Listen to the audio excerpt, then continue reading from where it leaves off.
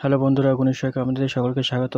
আজ পিতা ভেতরে একটা অঙ্ক নিয়ে এসেছি। এখানে বলা আছে যে পিতার বয়স পুত্রের বয়সের চার গুণ, কুড়ি বছর পর ওনার পুত্রের বয়সের দ্বিগুণ তাদের বয়স কি হবে? মনে করি পিতা, সমান সমান হচ্ছে পুত্র। তাহলে পিতার বয়স কত? এক্স তাহলে পুত্রের বয়স এক্স তাহলে পিতার বয়স কত হবে? চার এক্স প্রথম লাইনে বলা আছে। তারপরে কি বলা হয়েছে যে কুড়ি বছর পর তাদের অন্তিম বয়সের দুই গুণ। তাহলে কুড়ি বছর কত? এক্স প্লাস কুড়ি করে দিন সমান সমান এক্স প্লাস কুড়ি তাহলে কী বলছে? তার কুড়ি বছর পর দুই গুণ, তাহলে এখানে পুত্রের জায়গায় দুই গুণ করে দিন তাহলে ক্যালকুলেশন করুন। তাহলে এখানে হচ্ছে ফোর এক্স প্লাস কুড়ি টু এক্স চল্লিশ। তাহলে এখানে করলে কত হচ্ছে?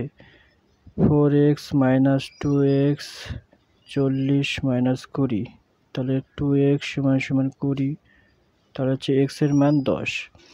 এক্স যদি দশ হয় তাহলে এটা হচ্ছে পুত্র।